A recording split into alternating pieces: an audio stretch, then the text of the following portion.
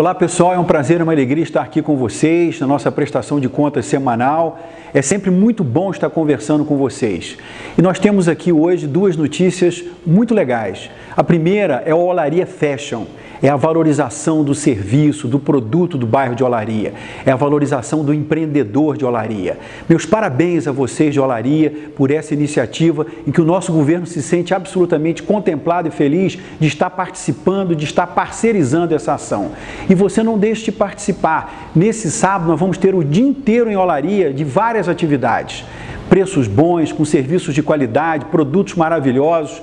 Participe, dê força ao bairro de Olaria, porque Olaria merece e nós temos certeza absoluta que será mais um grande sucesso.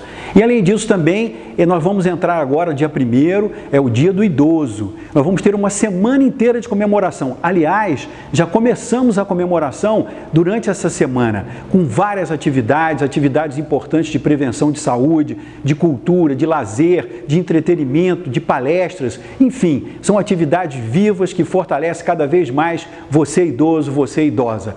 Meus parabéns, curtam bastante, um forte abraço e até o nosso próximo encontro. Tchau, tchau.